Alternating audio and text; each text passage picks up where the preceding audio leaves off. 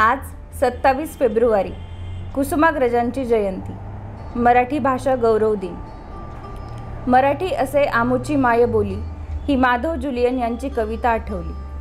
आणि आज कुसुमाग्रजांच्या कवितांचा आस्वाद घेऊ असे आम्ही आणि पळशीकर काकांनी ठरवले. सरस्वतीच्या मंदिरातील दैदिप्यमान रत्न असे ज्यांचे वर्णन करतो ते विष्णू वामन शिरवाडकर म्हणजेच कुसुमाग्रज. कुसुम हे त्यांच्या मोठ्या बहिणीचे नाव. त्यावरून त्यांनी आपले टोपण नाव ठेवले कुसुमाग्रज. कवी नाटककार कथाकार कादंबरीकार लघुनिबंधकार आस्वादक समीक्षक विवा शिरवाडकर. शब्दकलेवर त्यांचे प्रभुत्व विलक्षण होते. समिधा हा ललित गद्याचा विलक्षण अनुभव देणारा संग्रह. एकोणीसशे सत्तेचाळीस साली प्रसिद्ध झाला होता. त्यातील गद्य काव्याचा आस्वाद प्रथम घेऊ. अग्नीचा स्मृती दिन. मानवी इतिहासातील पहिला शोध जीवन उजळवून टाकणारा. कोणीतरी केव्हा तरी लाखो वर्षांपूर्वी गारगोटीवर गारगोटी घासली आणि ठिणग्या पडल्या. अग्नी प्रज्वलित झाला. त्याचा स्मृती दिन. आता समिधामधील अग्नीचा स्मृती दिन पळशीकर काका सांगते. अग्नीचा स्मृती दिन. आदिविश्वातील तो अथांग अंधार अनंत आणि असीम होता.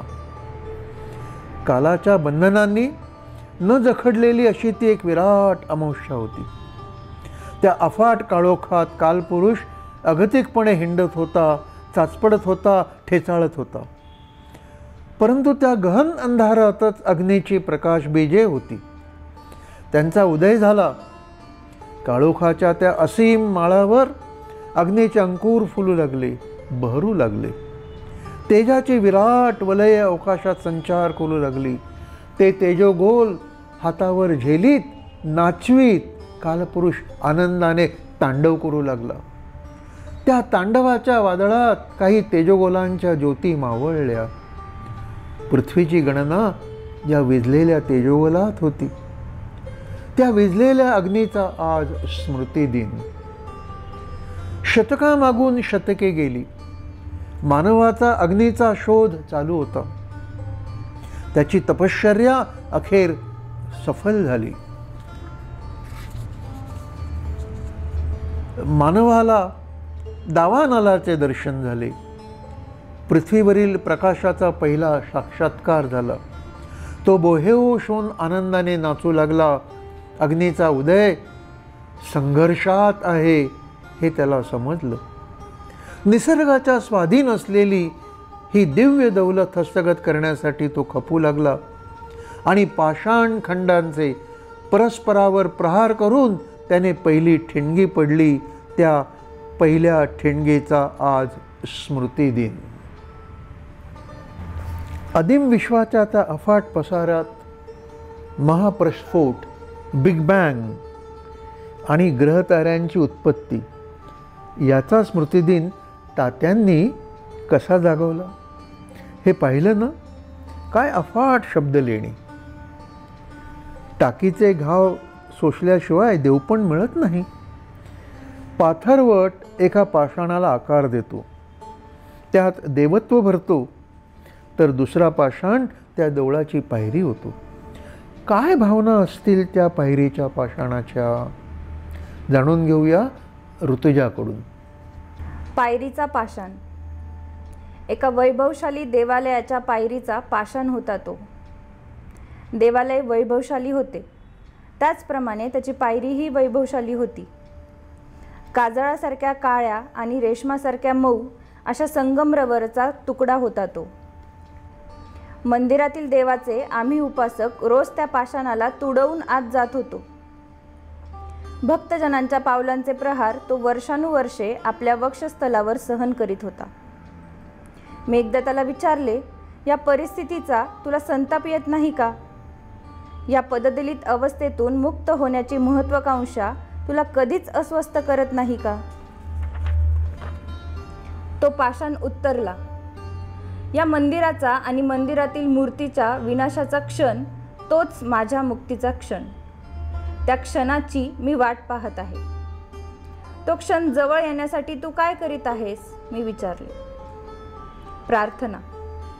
परमेश्वराची प्रार्थना. पाषाण उद्गारला. मी आशा करतो की एक दिवस माझी प्रार्थना सफल होईल.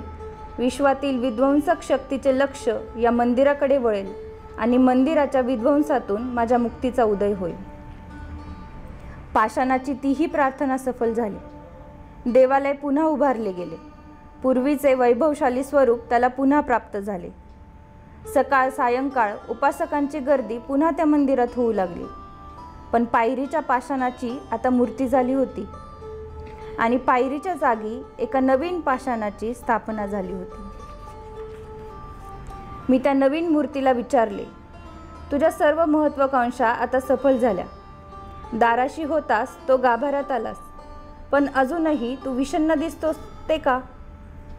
विश्वातील विध्वंसक शक्तीचे लक्ष पुन्हा या मंदिराकडे वळेल की काय याची मला भीती वाटते.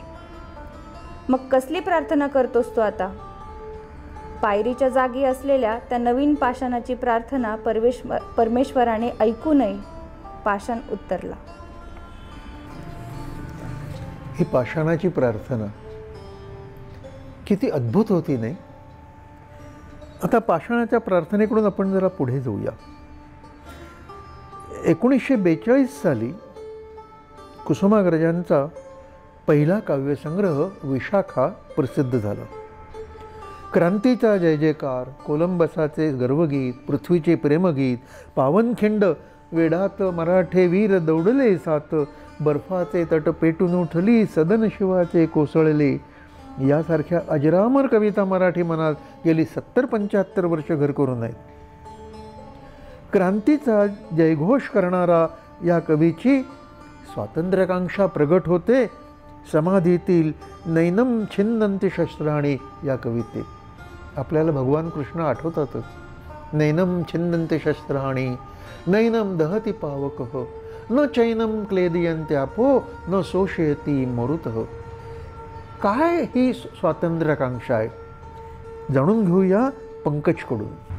नैनम छिंदंती शस्त्राणी. शस्त्रे हिचा छेद करू शकत नाहीत. अग्नी हिचे दहन करू शकत नाही. पर्जन्याने ही आर्द्र होत नाही आणि वादळाने ही नम्र होत नाही आमची स्वातंत्र्याकांक्षा. ही रक्ताने नाहते आहे पण हिच्या डोळ्यात पाणी नाही. शस्त्राघाताने ही विद्ध झाली आहे पण तिच्या अंतःकरणात भय नाही. ती जखमांनी जखमी होत नाही पराभवाने पराभूत होत नाही आमची स्वातंत्र्याकांक्षा. जीवनाने ती प्रज्वलित होते मृत्यूने ती अमर होते. संग्रामात सामर्थ्य त्यागात तेजोमयता तिला प्राप्त होतात आमची स्वातंत्र्याकांक्षा.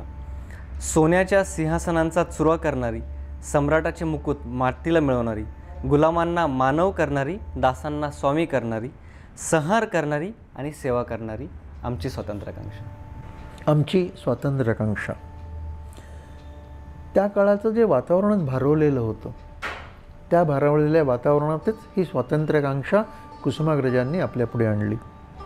कुसुमाग्रजांच्या आरंभीच्या कविता कशा होत्या? बालभूत मेवा या ख्रिस्ती नियतकालिकेच्या सप्टेंबर एकोणीसशे एकोणतीसच्या अंकात कुसुमाग्रजांची कविता प्रसिद्ध झालेली आढळते. तेव्हा ते सतरा वर्षांचे होते. आणि त्यावेळी कवितेखाली ते नाव लिहायचे कुसुमाग्रज शिरवाडकर असो. बालबोध मेव्हातील कुसुमाग्रजांची खेळायला जाऊ चला खेळायला जाऊ चला खेळायला जाऊ चला ऊन कोवळे पिवळे पिवळे ही कविता आपण आता ऐकूया मेहरकडून. जाऊ चला जाऊ चला खेळायला जाऊ चला सकाळ झाली सूर्य आला खेळायला जाऊ चला. ऊन कोवळे पिवळे पिवळे हिरवाडीच्या मोत्यांना रंगविते ते बघूयांना जाऊ चला जाऊ चला खेळायला जाऊ चला. खेळायला जाऊ चला खेळायला जाऊ चला. ऊन कोवळे पिवळे पिवळे आरंभीच्या काळात त्यांच्यावर बालकवींच्या फुलराणी व इतर कवितांचा प्रभाव दिसतो. ऑक्टोबर एकोणीसशे एकोणतीसच्या बालबोध मेव्हातील मोहनमाला ही कविता बघा. हिरव्या हिरव्या गवतावरती हिरव्या हिरव्या गवतावरती किरण कोवळे तुरळक पडती किरण कोवळे तुरळक पडती. पुढे ते म्हणतात नभो देवता कोणी मागाशी करीत सौदा स्वच्छ उन्हासी शिंपुनी त्यावर सनकणाशी तयार केली मोहनमाला तयार केली मोहनमाला. किती सोप्या शब्दात सहजतेने ते आपला आशय आपल्यापर्यंत पोहोचवतात नाही का? बालकवींची श्रावणमासी हर्षमानसी हिरळ लाटे चोहीकडे ही आपल्या मनामनात गुंजारो करत असलेली कविता. त्याच श्रावणाचे वर्णन कुसुमाग्रज करतात. हसरा नाचरा जरासा लाजरा हसरा नाचरा जरासा लाजरा सुंदर साजरा श्रावण आला सुंदर साजरा श्रावण आला तर ऐकूया श्रावण सादर करीत आहे राहुल. हसरा नाचरा जरासा लाजरा सुंदर साजरा श्रावण आला तांबूस कोमल पाऊल टाकीत भिजल्या मातीत श्रावण आला मेघांत लावीत सोनेरी निशारे आकाश आकाश वाटेने श्रावण आला लपत छपत हिरव्या रानात केशर शिंपित श्रावण आला केशर शिंपित श्रावण आला मंगेश पाडगावकरांची श्रावणात घननिळा बरसल्या ह्या कविता आपल्या सगळ्यांना माहितीच आहे. पण कुसुमाग्रजांचा श्रावण हा वेगळाच होता. श्रावण याच कविता संग्रहातील प्रार्थना या कवितेत कुसुमाग्रज ईश्वराला प्रार्थना करतात. तिमिरातून तेजाकडे प्रभू आमच्या ने जीवना सुजनत्व या हृदयामध्ये नेत जागवी भीती विना. सुजनत्व या हृदयामध्ये नित जागवी भीती विना. तर ऐकूया प्रार्थना सादर करत आहे प्रतिमा. सर्वात्मका शिवसुन्दरा स्वीकारया अभिवादना. तिमिरातुनि तेजाकडे प्रभुआ मुजाने जीवना। सुमनात तू गगनात तू ताऱ्यांमध्ये फुलतोस तू।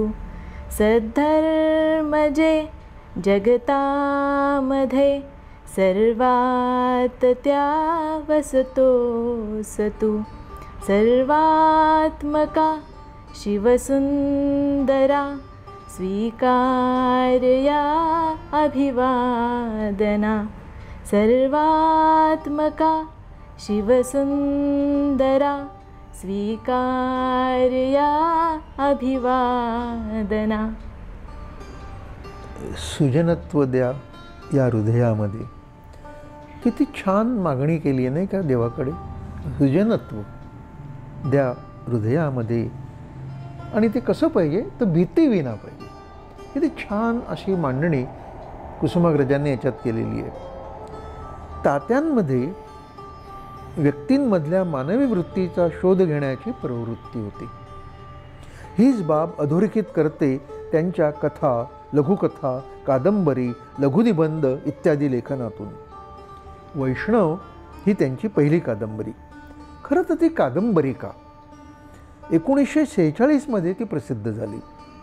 यानंतर त्यांच्या जान्हवी कल्पनेच्या तीरावर या कादंबऱ्या प्रसिद्ध झाल्या. वैष्णव ही विनायकराव या गुरुजींची कथा आहे. मुरारवाडी या गावातील शाळेत ते शिक्षक आहेत. एका खेड्यातील शिक्षकाचे वर्णन शिरवाडकर कसे करतात? ते खाली मान घालून चालत बोलत आणि वागत. खेड्यातला शिक्षक तर असाच असतं नाही का? त्यावर कोणीतरी विनोद करी. जमिनीवर लिहिलेले काहीतरी वाचत असतील ते. पुढे काही कारणाने त्यांची नोकरी जाते. आणि ओट्याशी रेंगाळणारे दारिद्र्य पायऱ्या चढून विनायकरावांच्या दारात येऊन उभे राहिले. नोकरी गेल्यामुळे पैसे येण्याचा मार्ग बंद झाला. बावीस रुपयांच्या तनख्यातून काही पैसे साठवून ठेवणे ही गोष्ट विनायकरावांसारख्या माणसाच्या दृष्टीने साफ अशक्य कोटीतील होती.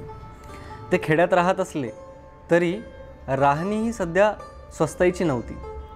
मृत्यूप्रमाणे सर्वांना समान लेखणारी महागाई मुरारवाडीसारख्या लहान गावातूनही विकाळ स्वरूप धारण करून हिंडू लागली होती. विनायकरावांनी नोकरी सोडल्याची वार्ता रामचंद्र मारवाड्याच्या कानावर ताबडतोब गेली. नोकरी सोडण्याच्या सुमारास मास्तरांना एक पगार मिळाला होता.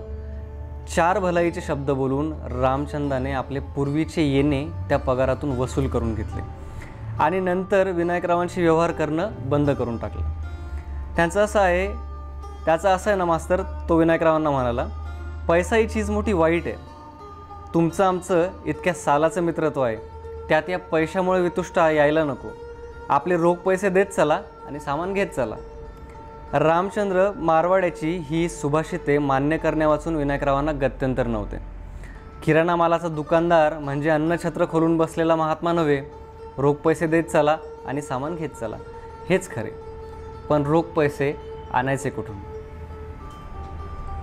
वैष्णव ही जरी त्यांची पहिलीच कादंबरिका होती तरी मानवी मूल्यांचं दर्शन किती वेगळ्या पद्धतीने या वैष्णवात केलेलं आहे हे आपल्याला दिसतं. सतारीचे बोल बारा कथा काही वृद्ध आणि तरुण प्रेम आणि मांजर फुलवाली अपॉइंटमेंट हे त्यांचे कथा लघुकथा संग्रह होत. समाजाला वास समाजातल्या वास्तवाला भिडणारे हे लेखन आहे. त्यांच्या कवितेबद्दल विशाखाच्या प्रस्तावनेत वि स खांडेकर लिहितात रत्नहाराचे तेजस्वी सौंदर्य कोणाला समजावून सांगावे लागत नाही. ते पुढे लिहितात कुसुमाग्रज हे मानवतेचे कवी आहेत. आजच्या सामाजिक असंतोषाचा ज्वालामुखी त्यांच्या कवितातून इतर काव्यांप्रमाणे नुसता धुमसत नाही तो अग्निरसाचा वर्षाव करीत सुटतो. बघा तो अग्निरसाचा वर्षाव करीत सुटतो क्रांतीचा जय जयकार करणाऱ्या या मराठी सारस्वतातील तेजस्वी ताऱ्याचा जन्म सत्तावीस फेब्रुवारी एकोणीसशे बारा रोजी झाला. त्यांचे प्राथमिक शिक्षण पिंपळगाव बसवंत येथे झाले. आणि माध्यमिक शिक्षण नाशिकच्या न्यू इंग्लिश स्कूल म्हणजेच सध्याच्या रुंगठा विद्यालयात झाले. येथे मला एक गंमत सांगावीशी वाटते बरं का. आत्ताच मी तात्यांना तेजस्वी तारा म्हटलं. पण तुम्हाला माहिती आहे का? सत्तावीस फेब्रुवारी एकोणीसशे शहाण्णवला तारामंडलातील एका ताऱ्याला कुसुमाग्रजांचं नाव दिलं आहे मुंबईचे एक रसिक वाचक आणि मोत्यांचे व्यापारी श्रीकांत लागू यांनी अमेरिकेतील इंटरनॅशनल स्टार रजिस्ट्री या संस्थेकडे पन्नास डॉलर फी भरून एका ताऱ्याचे नाव कुसुमाग्रज असे नामांकित करून घेतलं. श्रीकांत लागू यांचे आभार मानण्यासाठी तात्यांनी एक कविता चार जून एकोणीसशे शहाण्णवला पाठविली. त्या कवितेत ते लिहितात देवघरातील फूल उचलून कुणास द्यावे कुणी? देवघरातील फूल उचलून कुणास द्यावे कुणी? तशी नभातली ज्योत आणली तू माझ्या अंगणी. तशी नभातली ज्योत आणली तू माझ्या अंगणी. या कवितेचा शेवट करताना कुसुमाग्रज लिहितात कांत कृपेने. श्रीकांत होतं ना म्हणून कांत कृपेने सदैव वसतील कुसुमाग्रज अंबरी कुसुमाग्रज अंबरी. आजच्या मराठी भाषा गौरव दिनानिमित्त मराठीपण ही कविता आता सादर करीत आहे प्रतिमा. मराठीपण माझं मराठीपण मी शोधलं सह्याद्रीच्या डोंगरात. माझं मराठीपण मी शोधलं सह्याद्रीच्या डोंगरात संतांच्या शब्दात इतिहासाच्या पानात. तेव्हा साराजण हसून म्हणाली आम्ही शोधलं आमचं मराठीपण या भूमीवरील माणसाच्या मनात. आम्ही शोधलं आमचं मराठीपण या भूमीवरील माणसांच्या मनात. आम्ही शोधलं मराठीपण आमच्या माणसांच्या मनात. किती छान आहे ना? आम्ही शोधलं मराठी म्हण आमच्या माणसांच्या मनात. या छंदोमयीमध्येच त्यांची कणा नावाची कविता आहे. ती आपल्या अनेक जणांना मुखोद्गतच आहे. पाठीवर हात ठेवणे लुसते लढ म्हणा पाठीवर हात ठेवूनही नुसते लढ म्हणा हे प्रेरणादायी वाक्य तर अमर झालं आहे नाते या कवितेतल्या या दोनळी बघा.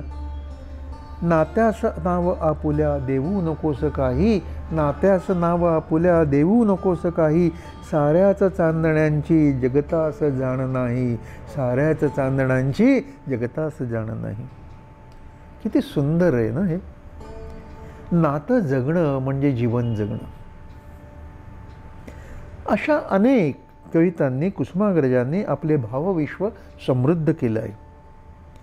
एकोणीसशे चौऱ्याहत्तर साली त्यांना साहित्य अकादमी व एकोणीसशे अठ्ठ्याऐंशी साली त्यांना ज्ञानपीठ पुरस्कार मिळाला.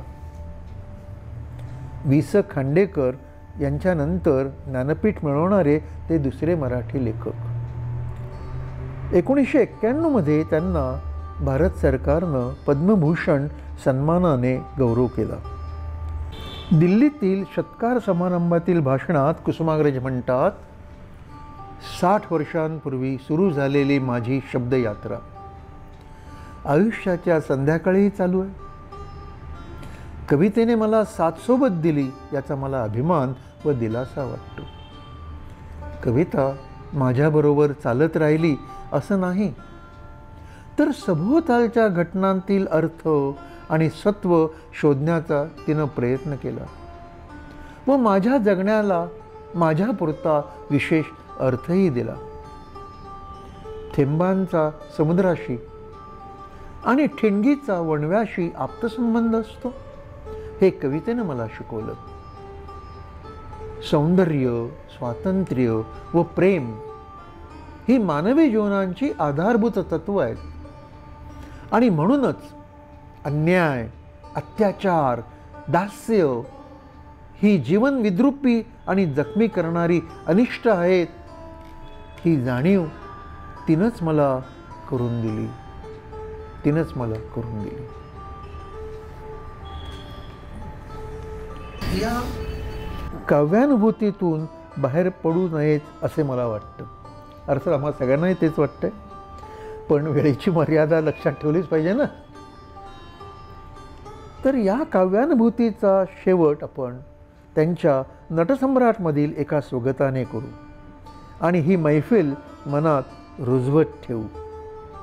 नटसम्राटतील स्वगत सादर करीत आहे Prafull. To be or not to be is the question जगावं की मरावं हा एकच सवाल आहे. ह्या दुनियेच्या उकिरड्यावर खरकट्या पत्रावळीचा तुकडा होऊन जगावं बेशरम लाचार आनंदानं. का फेकून द्यावं देहाचं लखतर मृत्यूच्या काळाशार डोहामध्ये. आणि करावा शेवट सर्वांचा एकाच प्रहाराने. माझा तुझा ह्याचा आणि त्याचाही. मृत्यूच्या महासर्पाने जीवनाला असा डंख मारावा की नंतर येणाऱ्या निद्रेला नसावा जागृतीचा किनारा कधीही. पण मग? पण मग त्या निद्रेलाही पुन्हा स्वप्न पडू लागलं तर? तर? तर? तर इथंच मेघ आहे. नव्या स्वप्नांच्या अनोळखी प्रदेशात प्रवेश करण्याचा धीर होत नाही. म्हणून आम्ही सहन करतो जुनं जागेपण सहन करतो प्रेताच्या निर्जीवपणाने अभिमानावर होणारे बलात्कार. अस्तित्वाच्या गाभाऱ्यात असणारी सत्वाची विटंबना. आणि अखेर आणि अखेर करुणेचा कटोरा घेऊन उभे राहतो खालच्या मानेनं आमच्याच मारेकऱ्यांच्या दाराशी. विधात्या तू इतका कठोर का झालास? एका बाजूला आम्ही ज्यांना जन्म दिला ते आम्हाला विसरतात आणि दुसऱ्या बाजूला ज्याने आम्हाला जन्म दिला तो तूही आम्हाला विसरतोयस. पण मग विस्कटलेल्या हाडांचे हे सापळे घेऊन हे करुणा करा आम्ही थेरड्यांनी कोणाच्या पायावर डोकं आदळायचं? कोणाच्या पायावर? कोणाच्या? कोणाच्या?